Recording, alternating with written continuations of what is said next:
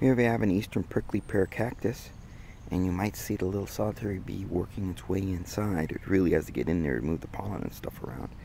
This is our only uh, native cactus that we have here up in the northern east, and uh, each flower only lasts one day. The flower itself is edible, but um, it then will produce these uh, these little pears that uh, the people do eat, although the pads themselves are edible too.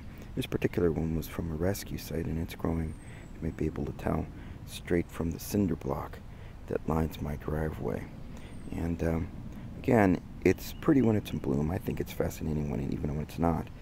And uh, it is a favorite. The bright flowers are big, huge, showy, and that is attractive to many different pollinators, including this little bee, which is working his way all the way around inside the flower. And it has this one day to do it.